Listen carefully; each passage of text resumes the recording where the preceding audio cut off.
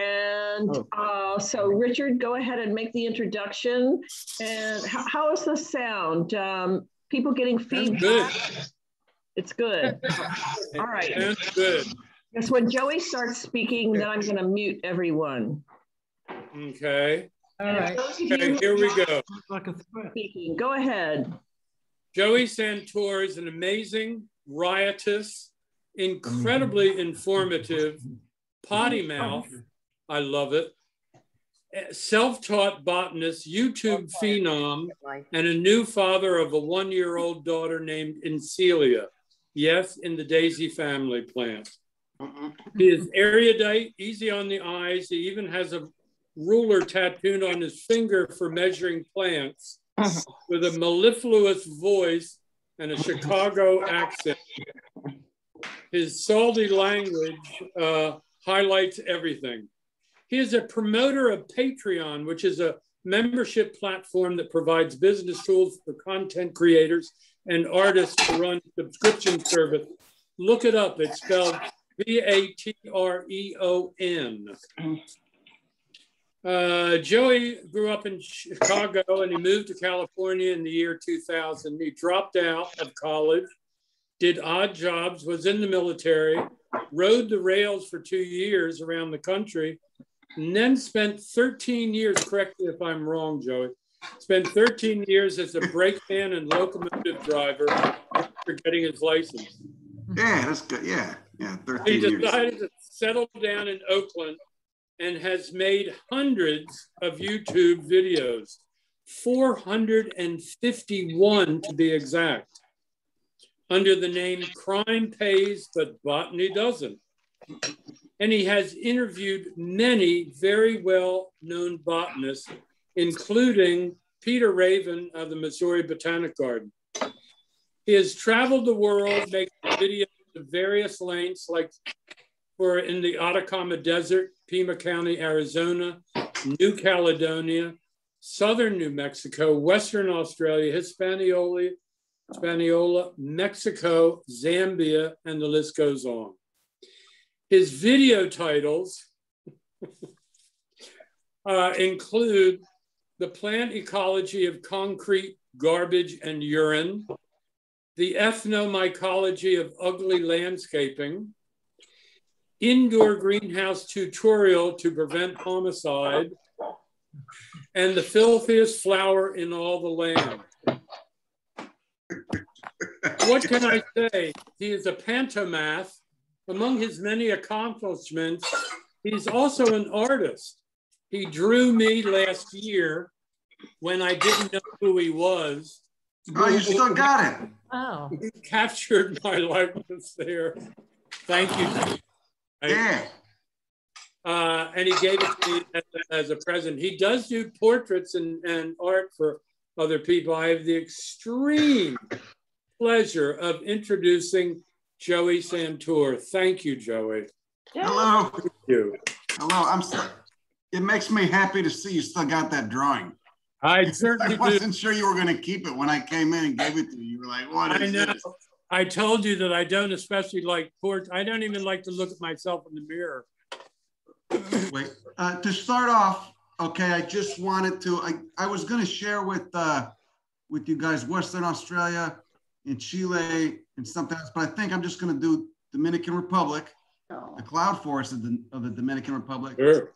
uh, and Chile because there's a lot of really, really interesting stuff in the Dominican on Hispaniola in the Caribbean. These cloud forests are incredible, and a lot of the stuff that grows there would probably grow really well in uh, the coastal California climate as well because it's you know it's I mean it's the Caribbean, it's the, the subtropics, but uh, it's like seven thousand feet uh, elevation. So there's incredible salvias, incredible lobelias, both of which I got germinating in this little tub next to me. Uh, I brought seed back, tried to get it around, get these things in horticulture because horticulture is kind of a way to preserve a lot of stuff. But uh, right here, I got a Amborella trichopoda, just getting its first big leaf. Wanted to share with everybody because I might end up, I'll probably end up killing it in the next uh, year. They're very finicky, but there you go. Uh, that's about a year old. I just sow the seed and, and wait for them to uh, come up. So um, anyway, we got a nice presentation here for you. And uh, if everyone's ready, I'll start. We are. We Okay. are. We All right, are. host, host disabled screen sharing. No, no, no. Let's see. Okay. Uh, screen share.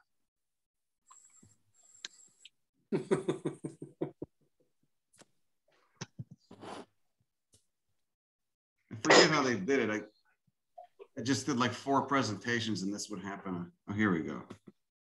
Ah, Here we go. Oh, Cool. host disabled participant screen sharing.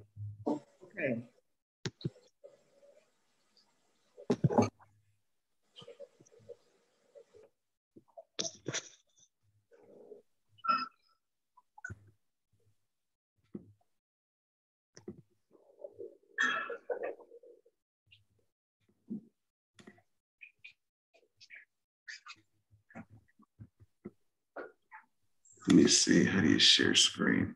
You push the, the bottom.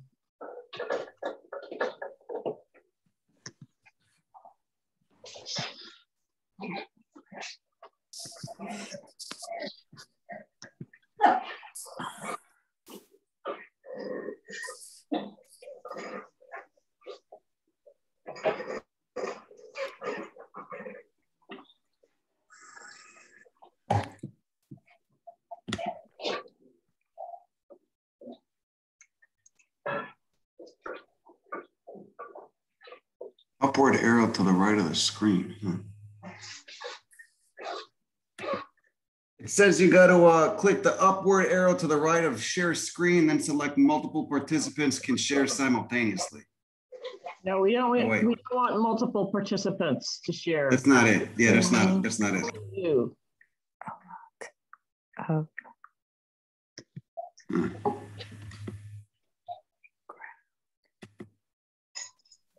Okay, so s- d- Joey, one, once more, try to share. Uh, it's still saying host disabled participant screen sharing. Go to-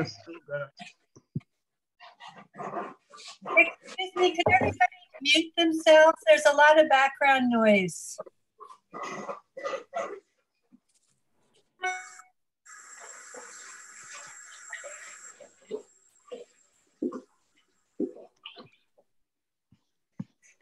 Okay, allow participants to share. I think you're allowed to share now, Joey. Yeah, there we go. Okay, All right. So here we go, and uh, let's try. There we go. Can everybody see that? yeah, Okay, made a nice little title page. Starting off, so here's here's uh, of course Hispaniola. Here's Dominican Republic. Here's Haiti. Uh, the route I took, I was mostly west of uh, of the border of this uh, image right here. So it's the, this is the Cordillera Central. You got like seven mountain ranges here, all trending west, northwest to southeast uh, due to uh, the geology of the area, the plate tectonics. There's, you know, it's just kind of like a, a clusterfuck of plate tectonics. If anybody minds the swearing, let me know and I'll try to uh, clean it up.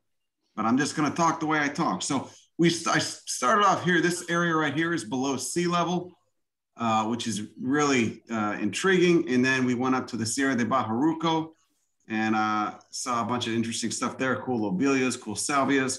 Right near the border with Haiti, followed this road down and then uh, went to the Cordillera Central. So starting off, we were right here near Lago, Lago Enriquillo. There's American crocodiles there. It's all below sea level. And all the geology there is an ancient reef, probably few million years old. Um, yeah, really, really wild shit. And there's a bunch of uh, endemic iguanas there too. So just to start off in the lowlands, because some of these cacti were too cool not to share, there's Milo cactus, pedernalensis. You, of course, they got that cephalium, which is basically a, a way to uh, maximize the efficiency of flowering. Because, you know, in order to flower a cacti, I need to produce new areoles, uh, which can be expensive to do if you live in a, a very hot, dry area. Now, this, the Dominican Republic to the northeast gets a lot of rain, but this is in the rain shadow. This is to the southwest. The rains come from the east. Uh, looking back at that map, the rain comes from over here. So everything over here is super dry. That's why you get all these cool cacti. So there's Melocactus Peternal- pedernalensis. They get poached pretty bad because I think they there's some weird, you know, traditional medicine thing saying they cure urinary tract infections, or I think they actually give you kidney stones because they've got uh, calcium oxide. But so there's the habitat. Stenocereus fimbriatus back here. Don't worry, the cacti's not going to last too long. I just, I'm really into it, so I wanted to share it. Here's uh, the habitat that these rare iguanas live in, two species, uh, really bizarre. And this tree cactus, this tree prickly pear is really important to them. It's an endemic to the island Consolea moniliformis. Um, there's one of the flowers of it. These things are incredible, but I guess the iguanas can actually climb them. Uh, they eat the fruits. They uh, believe they eat some of the pads. The pads, believe it or not, are not that spiny. It's just the trunks. You know, when they get a certain height, they're not that spiny, but here you can see they're just covered. And we saw iguanas all over here just running around. There's one of them, Cyclura ricordii. I told him he looked like Mitch McConnell because he's got that kind of like five five uh, chin thing going on. Um, but uh, you could see the, the substrate here. I mean, they live in these little holes and they just scurry into them. It's hilarious. They run so fast. And these are just these ancient reef that they live on. It was incredible. I mean, old, you know, lithified corals. There's another uh, specimen of that tree. All kinds of cool stuff growing around here, but we're not going to get into that because we're low on time and I talk too much anyway. So anyway, moving away from there, this is more inland, but still relatively low elevation, low elevation, Anastraphia picardae which is a very strange member of the sunflower family. It's in that mutisioid subfamily that uh, is mostly in South America. But look at these; they only grow on this uh, this limestone. So the surrounding woodland, there were none of these. They only grow on these limestone outcrops. So ecologically, they're pretty cool. This species was previously only known from Haiti, and then it was found in the DR maybe 10 or 20 years ago. There's that weird capitulum with those bilabiate uh, corolla florets whose white woolly leaves, just a fucking incredible plant. So going up, that's it with the low elevations. So this is at about 7,000 feet. The climate here paralleled that of San Francisco. It wasn't too hot. It wasn't too cold. Uh, it reminded me of being in San Francisco Botanical Garden. This is agave intermixta. Uh, and I got seeds of these, and I'm assuming this is an agave that would do really good in the coastal California climate. Um, what they're growing on here is a limestone karst. Beneath all this this duff is basically it's like dog tooth karst. That's the name for it, dog tooth karst. It's so sharp and rigid. I mean, if you were to try to work on the base, walk on the base rock here in just bare feet, you wouldn't be able to move. It's incredibly painful. It the way it reacts with the the rain in this subtropical climate just creates these razor sharp um, textures to it. But you can see this is Pinus occidentalis, uh, the endemic pine on these highlands here. And then uh, agave intermixta. There was also a silk tassel, a species of Garrya that was really common here. There was a species of Baccharis, coyote bush that was really common here. This agave was really uh, blowing my mind though. It's a, it's a, I believe it's a, is it a Lyonia or a Garrya in the background? I believe this is the Garrya, Garrya fadyenii made up made so i drove this road it took to get up here was the road was super beat up um, i was in a four-wheel drive uh, nissan um, that smelled like hell. It smelled like off-gassing plastic and you know just diesel but it did the job. It got me up here. It was a really slow crawl because the road was so bad but got up and then here's uh this is that Garrya again. I'll get up close shots. And um just an incredible forest man. And you know of course across the border in Haiti, most of this forest is denuded already. It's gone. These really white woolly plants here were a member of the Senecio tribe of uh, the composite family in the genus Elekmania that was named after a, a, famous botanist who did, you know, tens of thousands of uh, voucher specimens that he collected here called Eric Eric Ekman. He was Swedish. He died in his early 40s from malaria, but he did a shit ton of work in Cuba and the Dominican Republic and Haiti. So here's that Garrya. You can see glabrous up top, real smooth because it rains so much here. And then under, on the undersides, on those abaxial surfaces, very woolly, uh, velutinous, like velvet. Here's a male, nice up close money shot. You can get banned for the internet from uh, showing stuff like this. Wind pollinated, of course. So those anthers just dehisce and they were just just pollen going everywhere. Now we're getting into some of these salvias, man. This uh the salvias here, I wasn't, I didn't know how species rich they were for salvias. These things are incredible. I wish I would have gotten seed of this. I didn't. Um, this is Salvia buchii. And it was probably, this is like 6,000 feet, just growing on the side of the road. It's of course super white, uh, uh, velvety undersides, and then not as uh, not as hairy up top, but those flowers, those verticillasters are incredible. This was one of my favorites by far, this lobelia. This is like a vining lobelia. Um, and I got seed of it. They just germinated actually. They're incredibly tiny, like lobelia seeds tend to be, seedlings tend to be. I hope I can keep them alive. Because um, I would love to see this in horticulture, man. This thing was, I mean, it probably, re- it, it requires a lot of moisture but the temperature, especially like coastal California, is just right for this. So hummingbird pollinated, obviously, this thing has got this kind of scandent vining habit, uh, just just draped over trees. It was really common too on the island, not just in this cloud forest, but I mean, god damn, the color is just. Of course, there's that fused anther tube. This is in the female phase, and uh, see, I think this one, like this flower, is in the male phase. So you know, lobelias are protandrous. They're they present pollen first, pushing it out of that fused anther tube, and then when they're when they presented all the pollen, that style comes out and is receptive to pollen. There's that style and stigma. Oh, look at that. God damn it. This in oh, five fused petals at the base. Here's the calyx. I was in love with this plant, man. I, I love this plant so much. Got to get it into cultivation. I got to share this with people. And then moving on, another salvia, Salvia foveolata. You can see the corolla here is fuzzy. Of course, I, I you know, I should have dissected this thing because salvias, of course, have those cool lever mechanisms so that when a hummingbird, you know, sticks its uh, beak in there, it daps down with the these stamens. Um, lots of hummingbirds on the island, lots of cool birds, period. There was one bird, uh, what was it called? Rufous throated solitaire that sounded like a rusty playground swing and it was everywhere, but it was it was this really peaceful uh, sound. I say rusty playground swing, just you know, breaking balls. The thing sounded really, really lovely, really lovely bird. And you're in these desolate forests and everything's wet and there's sphagnum moss on the ground. These tall pines, you're like six thousand feet, and you hear this really slow, melancholy. Uh, it's not a chirping. I don't know what you would call it. It's you know really long and drawn out. Oh my God, Miconia ferruginea. So I, I didn't know much about Melastomataceae. I only knew, you know, Tibouchinia, which you see in a lot of, you know, gardens in Berkeley.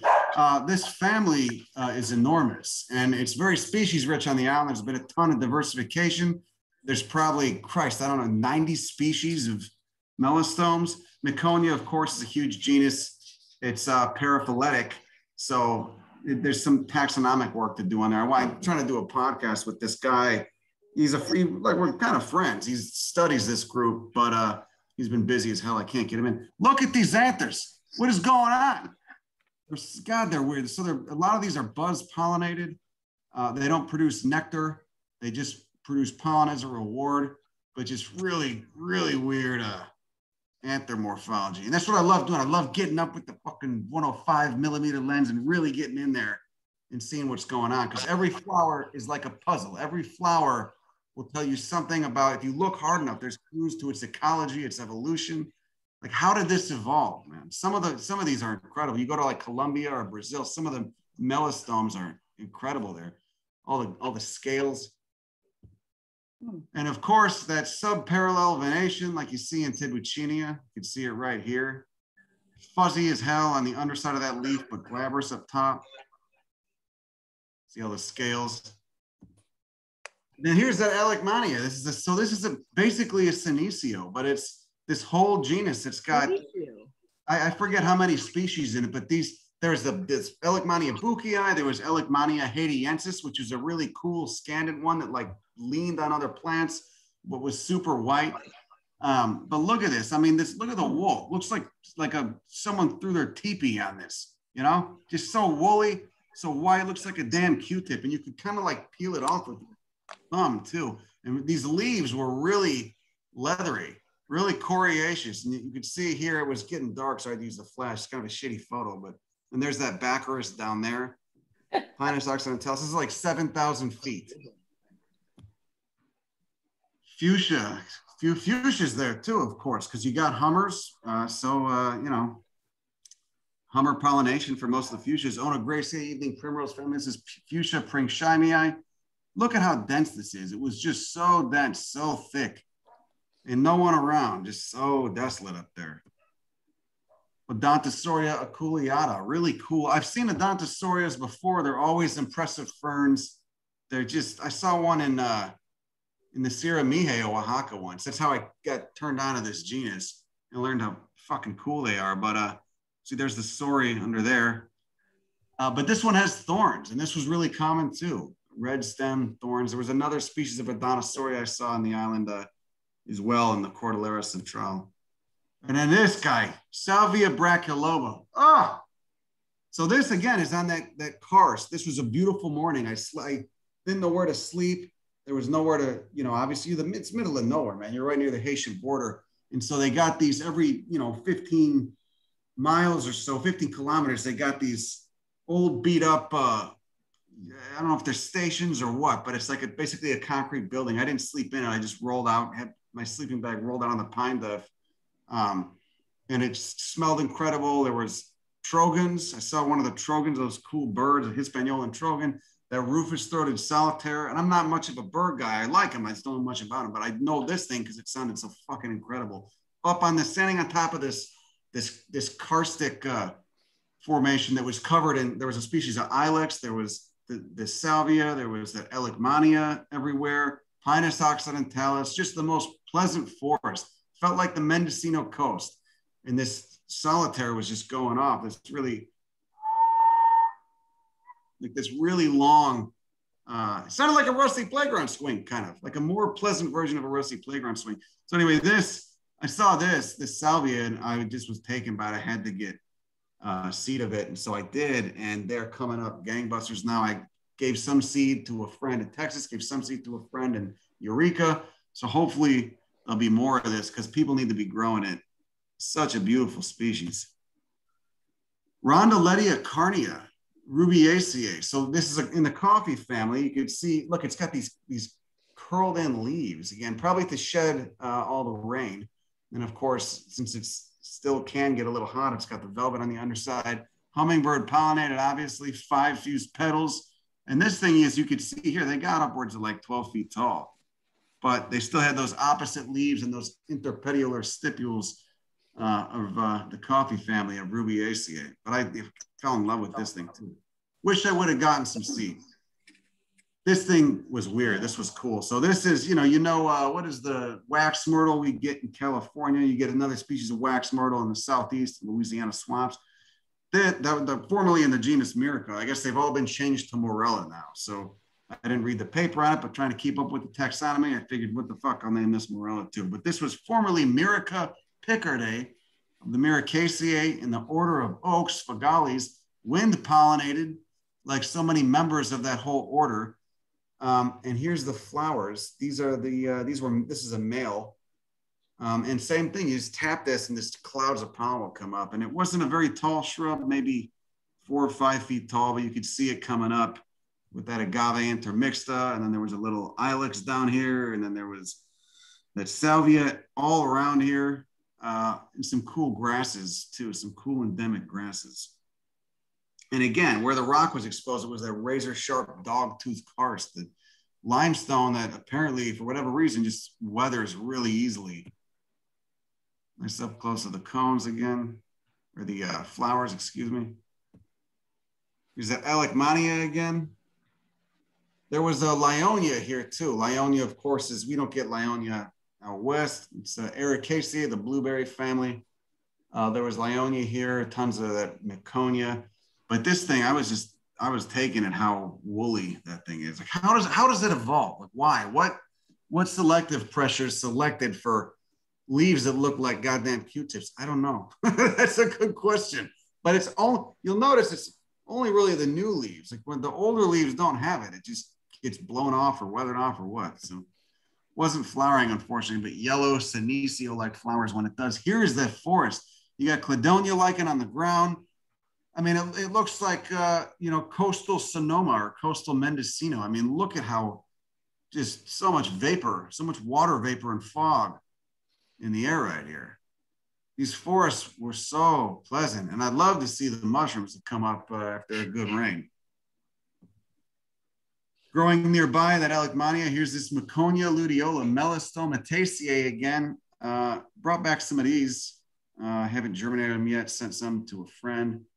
But I'm guessing, again, with all these, this, they would do well like in Strybing Arboretum in San Francisco. Just the climate is so similar. Granted, I was there in February. I don't know how hot it gets in like, uh, you know, July, but again, it's 7,500 feet up. I assume it doesn't get that hot. Another lobelia. This had time. These flowers were actually remarkably small. Lobelia salicina. There's that pollen, that anther tube. The pollen presenter hasn't come out yet. Five fused petals. This thing was a stunner, man. Some of them had that uh, red coloration on them. Gesneria, tons of Gesneria. It's ton of Gesneriaceae. And this was actually in a serpentine spot. There's serpentine uh, on Hispaniola, just like there's serpentine on Cuba, because there's subduction zones nearby. So, uh, you know, that peridotite got metamorphosed and then uplifted. That just like we get, I mean, there were parts where the rock looked just like you'd see in Trinity County, you know? So this was growing out of a little uh, rock crevice above this really pretty creek.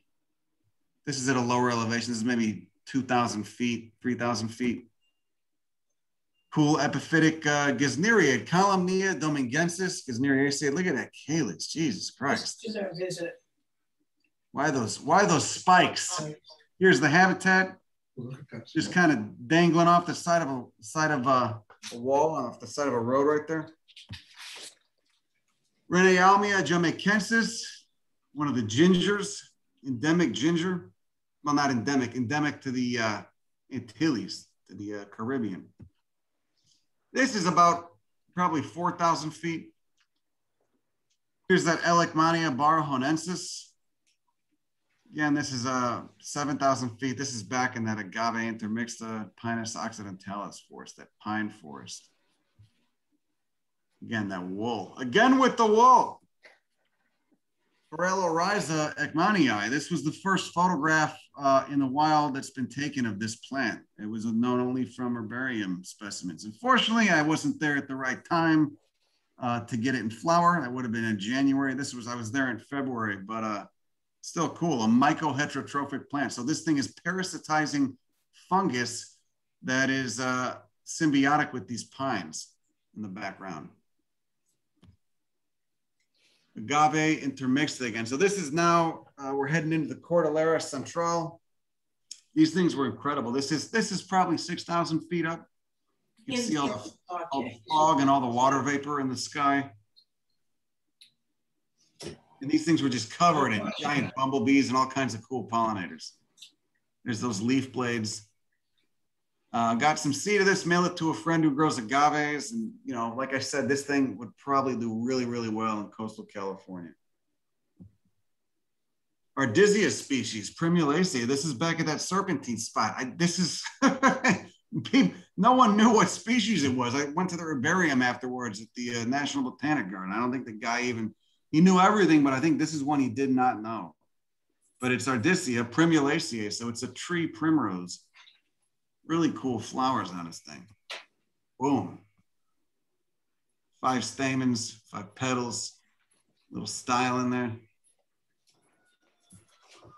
Coccothrinax argentea. Just looks like, eh, whatever. It's a palm. You flip it over and it's got this silver underside to it. Pretty wild. And uh, one of the last few pics I'll show from that lowland serpentine soil spot, Exostema spinosum from the coffee family, from the Rubiaceae. Those little pendant flowers looking like they're, uh, looks to be hummingbird pollinated.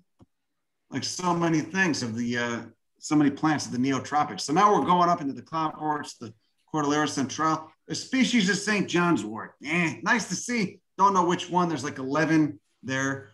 Uh, just kind of showing it to give you an idea of what was growing here. So this is about 5,000 feet.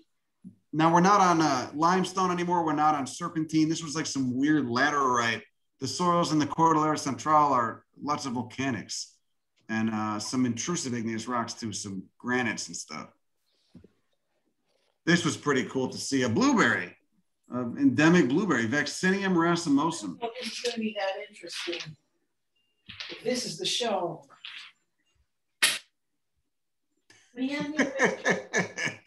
Someone's displeased.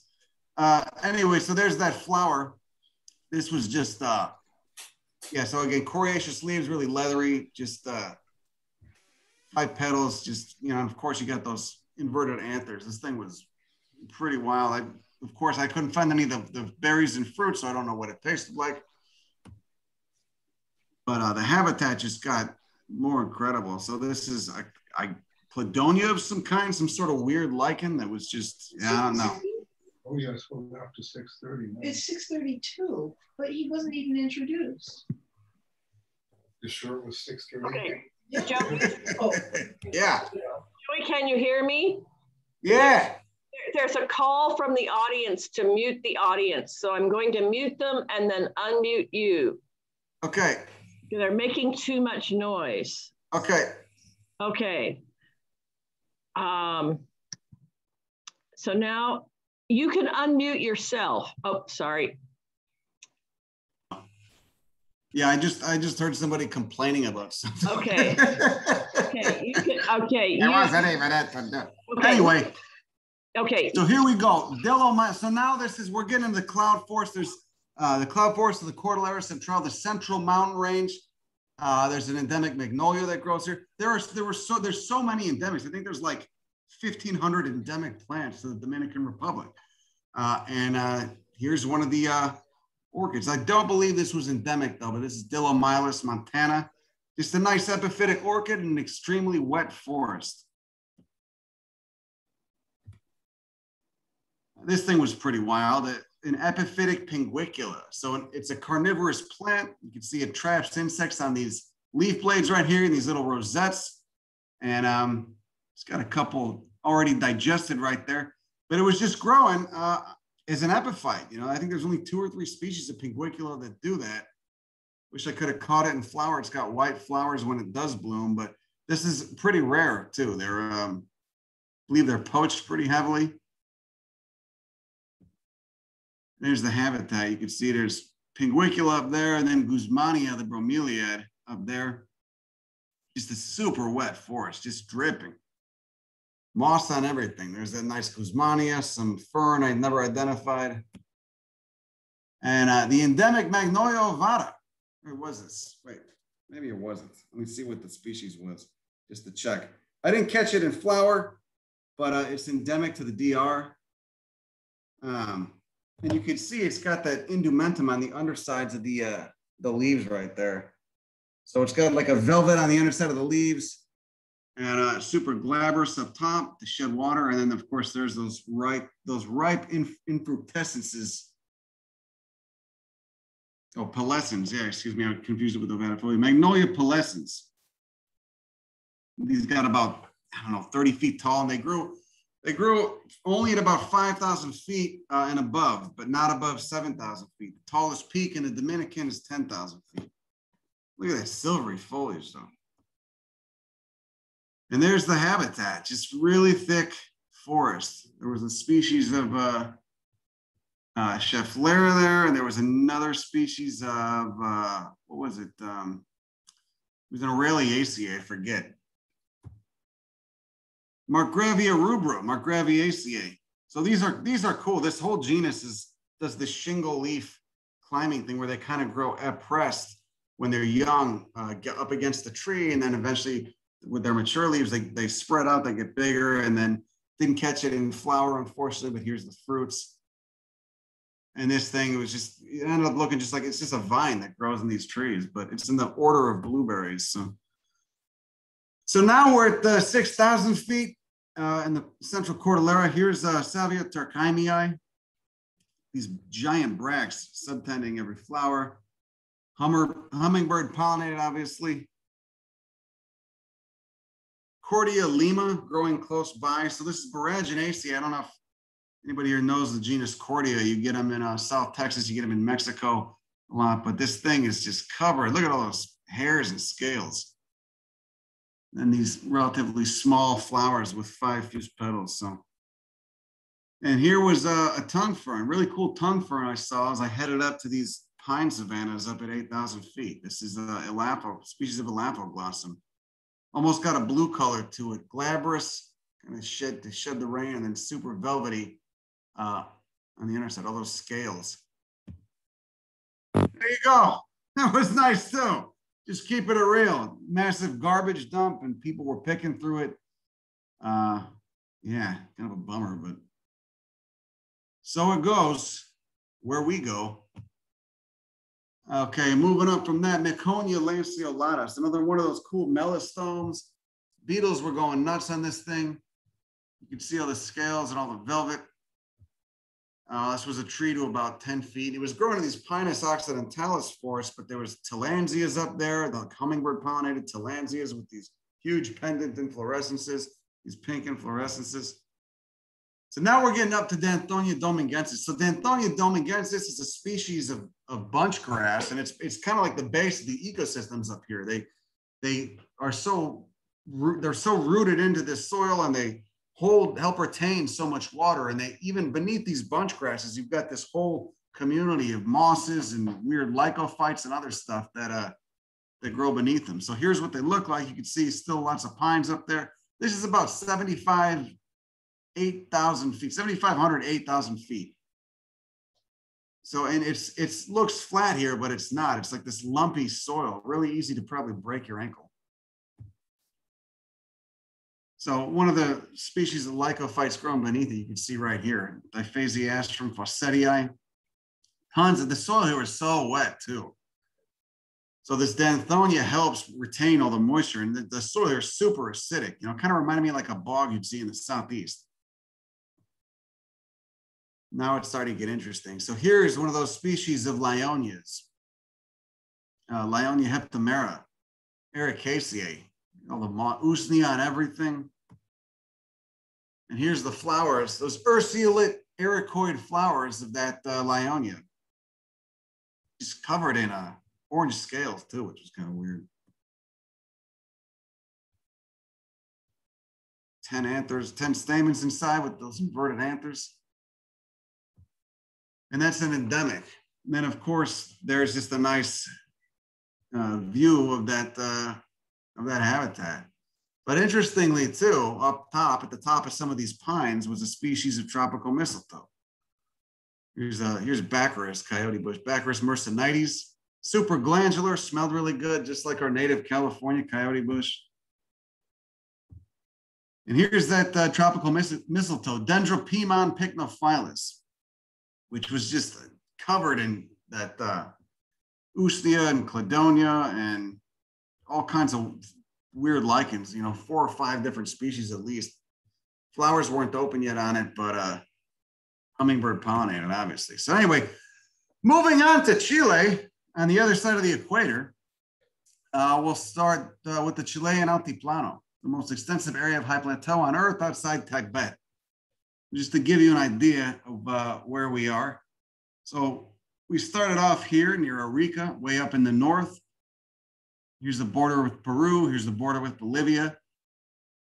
And uh, we basically followed down this way and then went inland along the coast for a while and then came back to the high Andes uh, near Santiago. So um, look at all the pimply volcanic activity right there.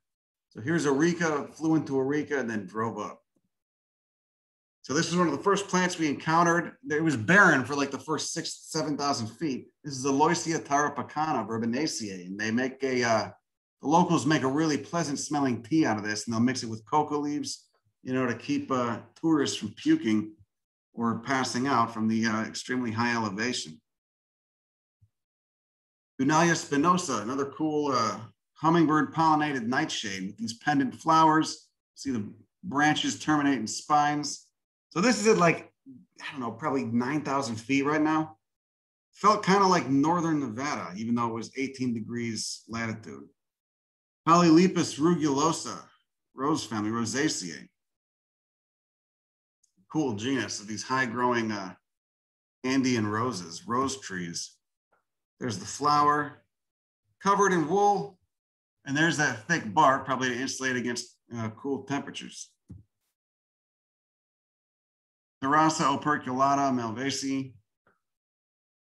There's that androphore. It's again covered in scales and trichomes. So I got really quick, if you guys want to tell me what you want, so I'm not boring you to tears. I got, this is Northern Chile, and then I got, you know, Central Chile with the rosulate violets and stuff. If you guys want to see that instead, we could skip ahead to that and come back to this. Just let me know. If anybody uh, wants to speak up, speak up or forever hold your peace. Chuquiraga spinosa. So th- there's this Chuquiraga is this genus of like I call them dinosaur sunflowers. These really weird, old, uh, one of the earlier branching lineages of the sunflower family. Hummingbird pollinated, obviously, covered in wool, and uh, of course they're in the Barnadesia subfamily, so they've got these spines. And this this thing was everywhere too, really uh, ubiquitous up top. Look at all the hairs Bomarea involucrosa from the Alströmeriaceae in the lily uh, order. This thing was like six feet tall and pendant flowers, just incredible plant. I would love to see this in cultivation around here too.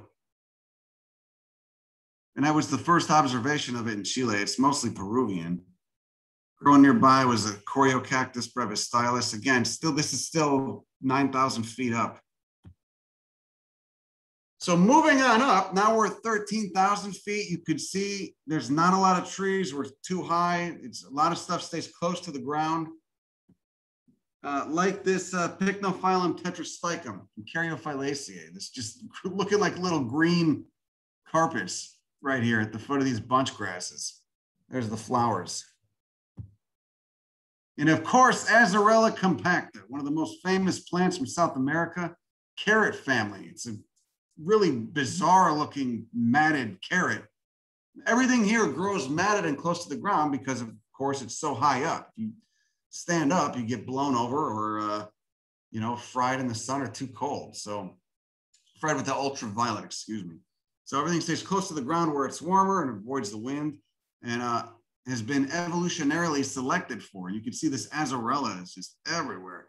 And that is about probably a foot uh, a foot deep of, of root and woody tissue. Up close are the flowers, little leaf rosettes, sessile flowers, sessile umbels. And these things bled resin too, which was interesting. More pics of the habitat, all volcanic.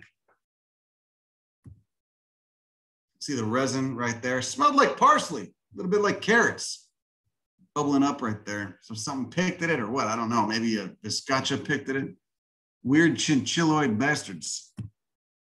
Parastrephia, a juniper-like member of the sunflower family. I like seeing this shit. I like seeing what evolution has done. I like seeing the endless forms, most beautiful, all the variations on a theme. Really weird shit. Really weird shit up here at 13,500 feet, as you would expect. There's been a lot of selective pressure to, you know, cause these weird forms to evolve. Looking much different from their lowland uh, counterparts. More Azorella, more Pycnophyllum right there. Wasn't able to, I don't think I wasn't interested in that bunch grass. I wish I kind of wish I would have been. Here's what Azorella looks like before it forms a mat.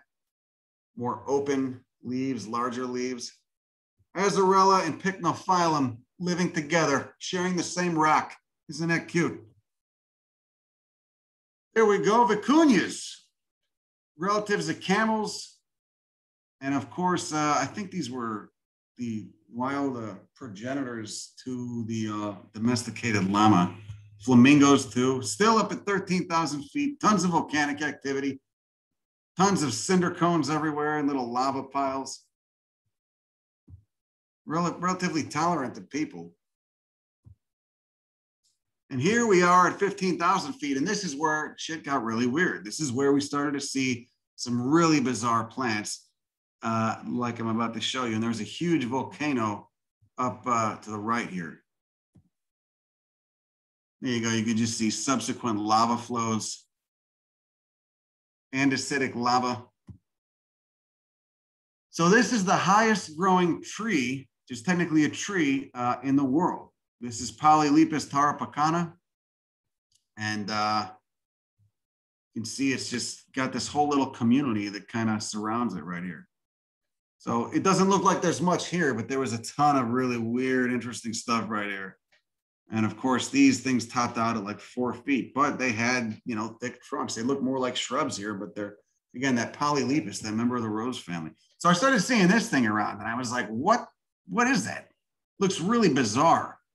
You know, are those leaves? I guess technically they are.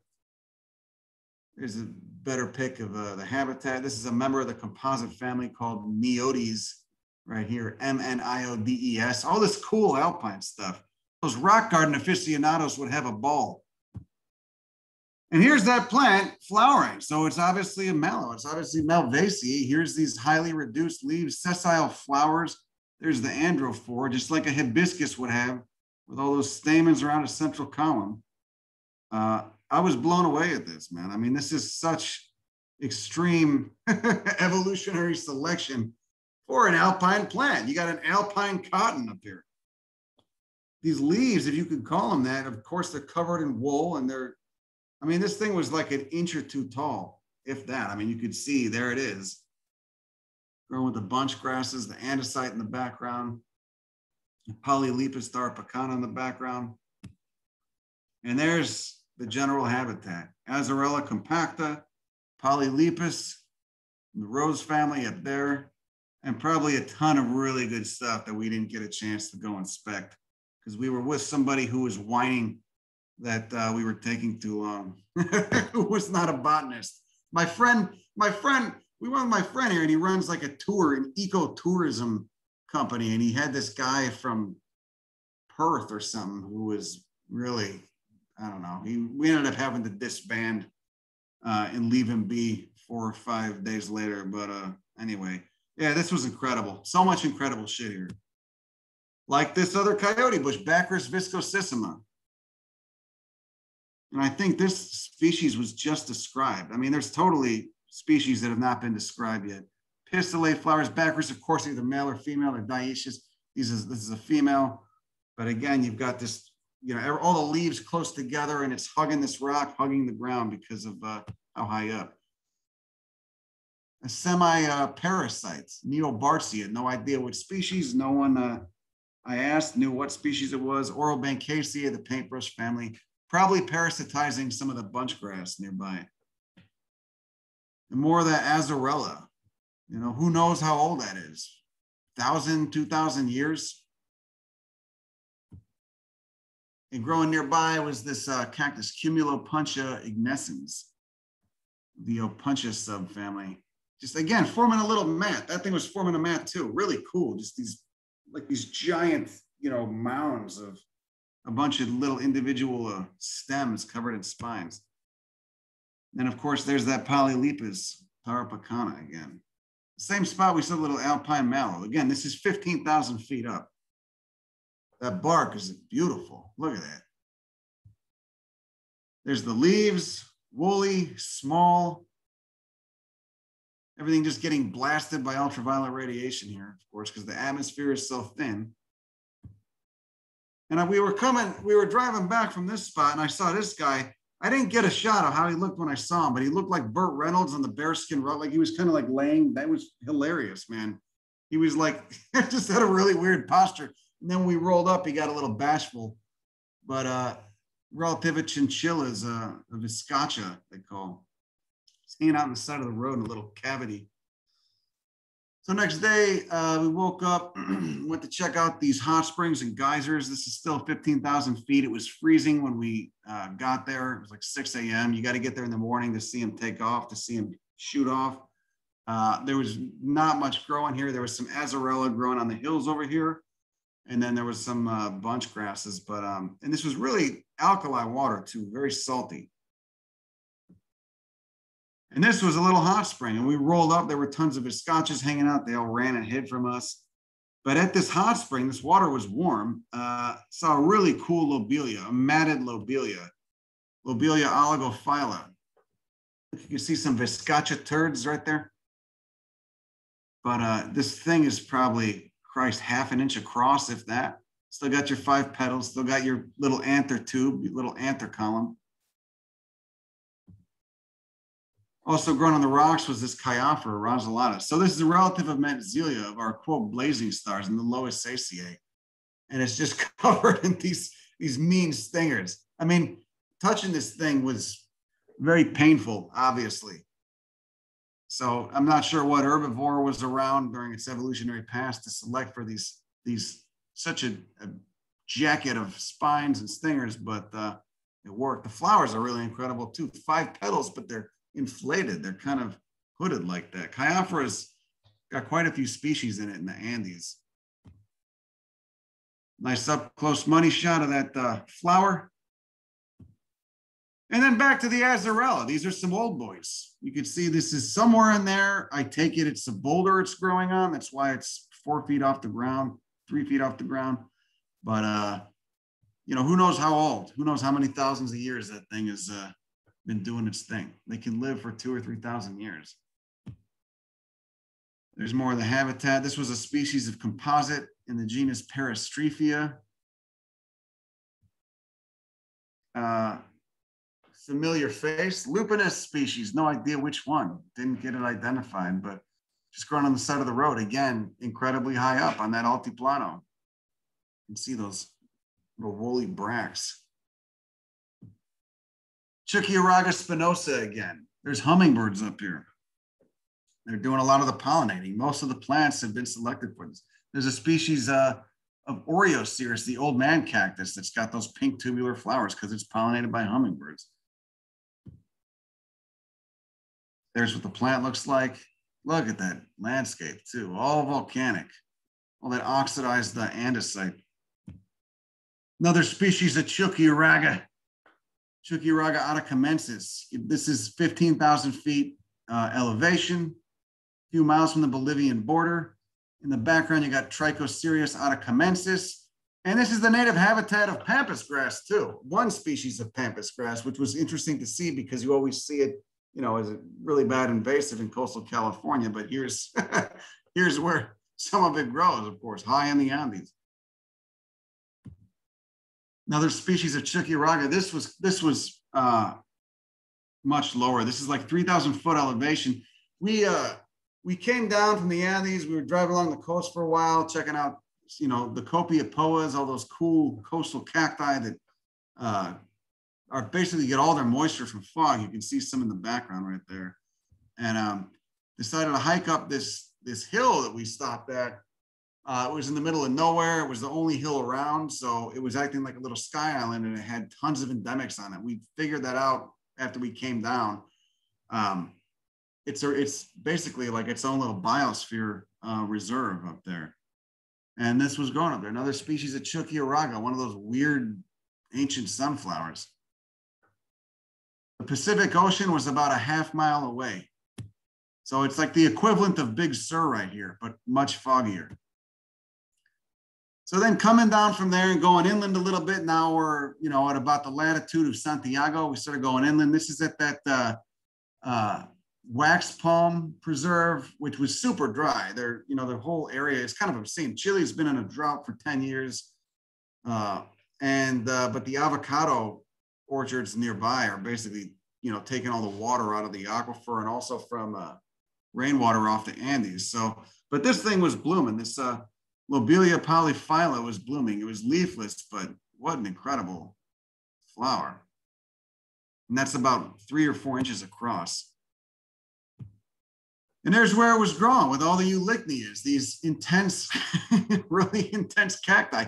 And I think one of the reasons these spines are so long is to help con fog condense. It's not just for defense, but a lot of these plants are completely dependent on fog, almost negligible rain. So then going inland, uh, this is east of Santiago, going inland and up. The whole Santiago area was was really, you know, super dry, really boring in terms of what was going off. There wasn't much blooming at the time. So we started going up towards uh, the Argentinian border, high up, and uh, that's when, when stuff started getting really interesting. Here's a member of the carrot family, a shrub that was just dominant everywhere and flowering too, just abundant, flowering abundantly. Gymnophyton isatidicarpum. And you can see this is probably like, I don't know, five, 6,000 feet maybe. There's my friend Woody. You can see they got, they got the nice netting to prevent rock falls. Really sketchy road, really steep, really windy. And there's the plant. Apiaceae. Also in that family, Azorella ruizii, another species in that same genus that uh, the Yareta was in, the Azorella compacta. But this is, again, this is not up at 13,000 feet anymore. This is like 6,000, 7,000 feet. Okay, this is this one was odd. This is a genus in the passion flower family. This is Malesherbia linearifolia. Look at all the glands. Everything here had glands on it. Super sticky. Again, I'd assume uh, Dieter herbivory also helped collect fog. Beautiful plant, though. I would love to see this uh, being grown out more. And there's the habitat. We saw one of those Andean foxes right here. Um, pretty cool.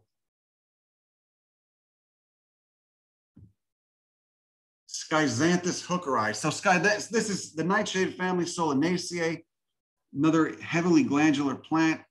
Uh, this here is an annual. Schizanthus is another genus with a lot of uh, lot of species in it in the Andes. Look at the glands. These little trichomes, each tip with a little bead of resin. This thing smelled like uh, kind of like a perfumey tar, if that's possible, if you can imagine that. This was a species of uh, Mutisia. One of those, another one of those weird, I call them dinosaur sunflowers, really bizarre. Tropaeolum polyphyllum. So same genus as the common garden nasturtium, which I kind of hate because uh, I've just been beaten over the head with it horticulturally here in California. But uh, that genus is really species rich. There's a lot of cool species in that genus. And here's one of them. Almost broke my ass trying to get this photo extremely sketchy uh, talus. This was like another 100 feet down. Not straight down, you know, you'd have a nice Homer Simpson bounce to you if you fell, but, uh, you know, whatever. Look, there's the uh, petals, little paddle shaped petals, clawed petals. And then, of course, they got that nectar spur on them. We saw three or four different species of tropaeolum. They're interestingly, they're in the brassicales, the mustard order, and they smell like it too. They've got that, the foliage has those that weird secondary chemistry. Another species of chook, Chuquiraga oppositifolia. You can see the habitat right there. I just, oh man.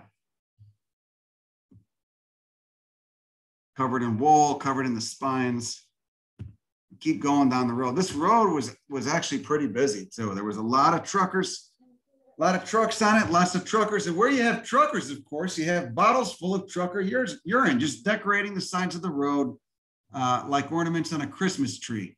It was disgusting. I saw shit there. I saw bottles that had urine in them that was the color of, I don't know what these guys were drinking, but I, you know, if I knew them, I'd say you should go get your kidneys checked out because they were just all the high fructose corn syrup and I don't know. That's what stands out for me. Just a part of, you know, our part of uh, human civilization.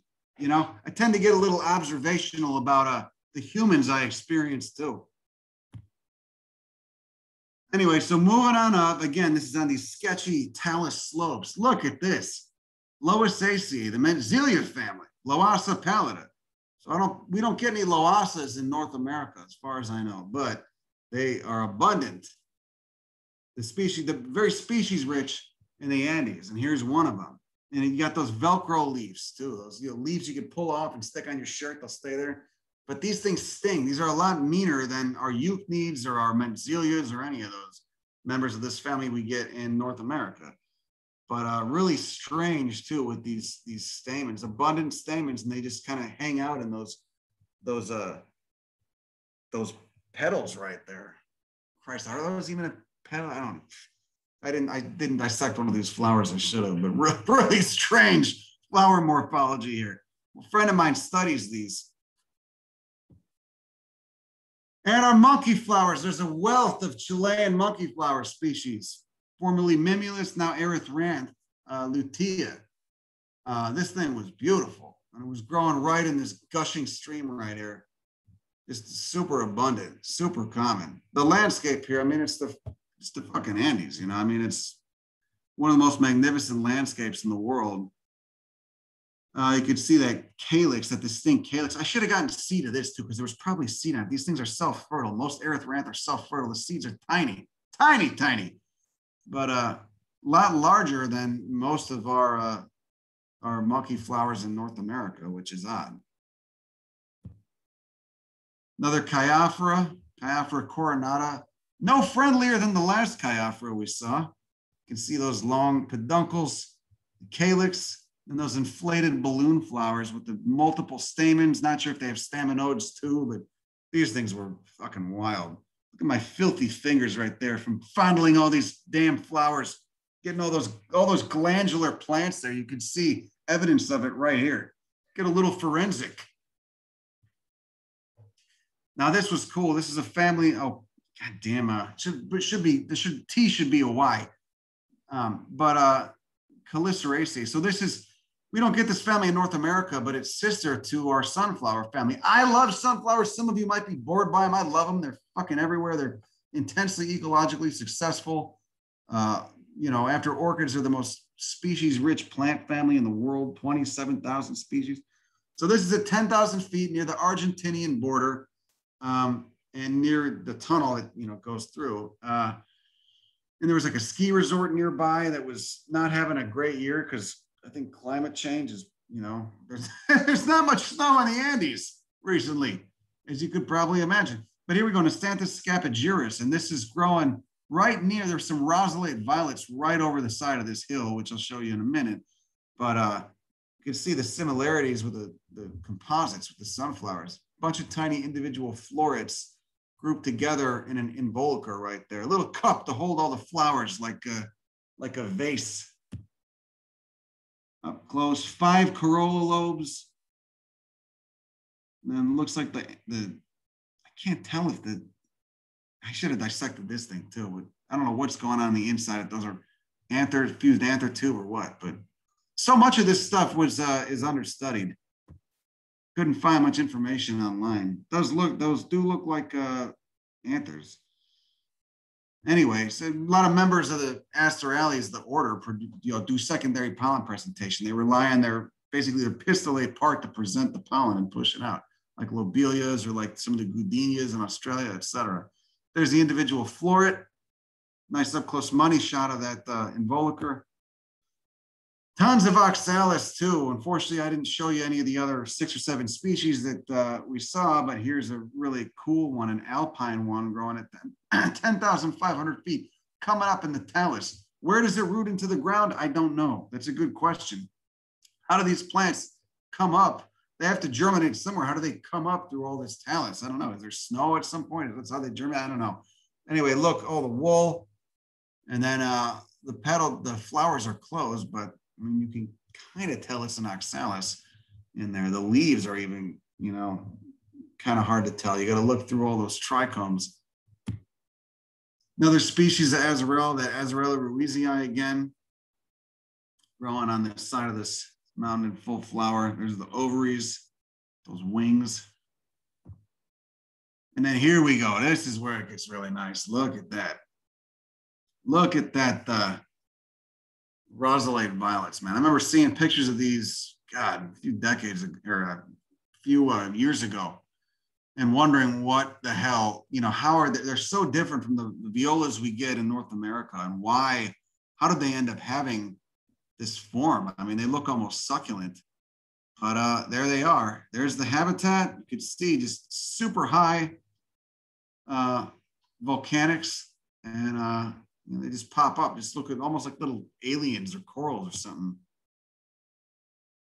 This is Viola atropurpurea, volcanic rock with the phenocrysts in the background. I don't know how old that is. I don't know how old they live.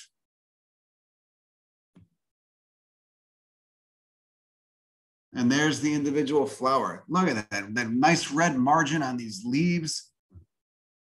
Cool texture to it. Looks like you got some little calli, some little studs. again, I should have dissected one of these flowers, but these things, it, it almost feels like sacrilege. These things are too pretty and rather rare. And you can see once they're done flowering, they just get these little nodding uh, flowers, these little nodding flower heads. And there's a bunch, and they can see they blend in really well too. Some of them do that phyto camouflage thing, just blending in with that volcanic talus. So ending off this day was Jaborosa caulescens from the Solanaceae. Again, 10,500 feet, forming a little map, but it's growing in this rocky talus. Get your five fused petals into a trumpet, but uh, relatively few hairs. So that night we slept in the parking lot of like a ski lodge or something. There wasn't, you know, there was nowhere nowhere to go really. It's it's so the terrain is so rough. You're just stuck in this little, you know, a canyon that the road is in. So we got we we woke up in a parking lot of this ski resort. There was like no one there. Took off, started walking along this lake, and uh, instantly saw this Alstroemeria uh, andina, which wasn't blooming yet, but again, coming up through the talus. The color on this water was incredible too. Alpine Lake. Another uh, Adesmia. So another very species-rich genus that's, again, look at the glands on this thing. Another really species-rich genus uh, in this country is in the Andes was Adesmia, which is a fabid. It's a subfamily. It's one of the peas but it smelled like hell. Smelled like a moldy polyester bathing suit. All the Adesmias I encountered smelled pretty bad. it was, it was, I was impressed. Again, looks pretty boring here, but there's a ton of, there was a ton of good stuff going on. So, like this Junellia uniflora, Verbenaceae. It's growing matted on the rocks. Those five fused verbena petals. And then uh, Pozoa coriacea from the carrot family growing on the, these volcanic sediments. You could tell there's there was a glacier here at some point too. You could see that U shape, the U-shaped valley right there. You can see the nectar on these uh, petals of that umbel. But again, this thing stayed pretty close to the ground too, kind of shield-shaped uh, leaves to it. Such a beautiful plant. I think there's two or three species of Pozoa in the Andes. One of the Senecios, don't know which one tons of Senecios down there too. And there's Senecios everywhere. Every, everywhere in the world I go, there's a native Senecio, it seems. But look at the, uh, before the flower heads open, before the capitula open, they've got that beautiful purple color, all those anthocyanin pigments. And there's that glacier carved valley with a couple horses, a couple feral horses in it, eating all the plants I wanted to see. Uh, like this, this stand. Montiaceae, the bitterroot family, or Claytonia family. Tons of Cistanthe in Chile too.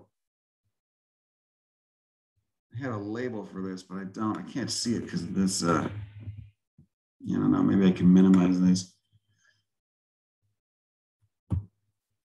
Ah, look at that.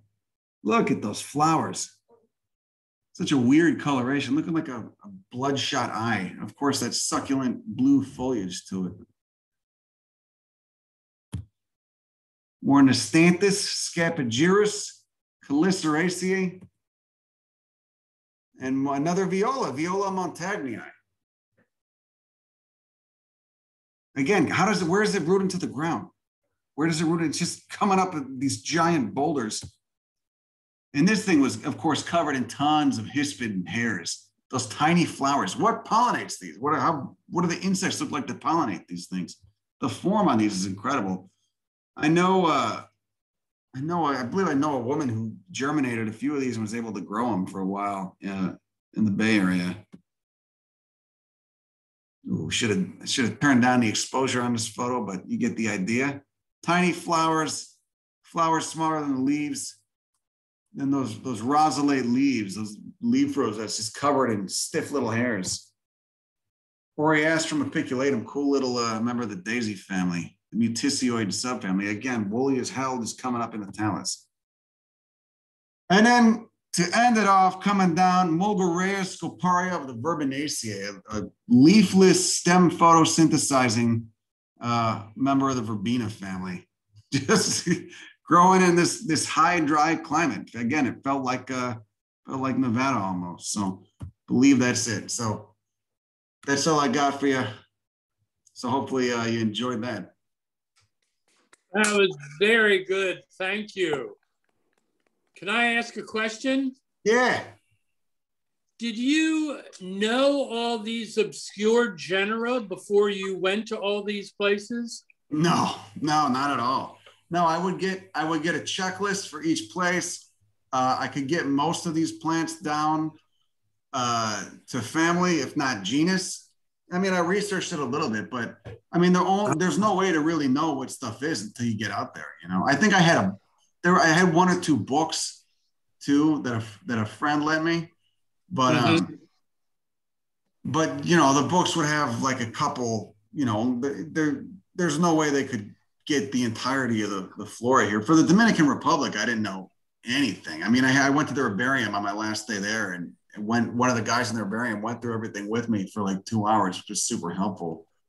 But um, yeah, man, no, I mean it's you know, there's a lot of this stuff is understudied or it's in places where there's no field guide. Like when when I was in Western Australia, they had field guides, which were cool. Um, you know, they really document their flora well, but like in the Dominican Republic, no, there was very little.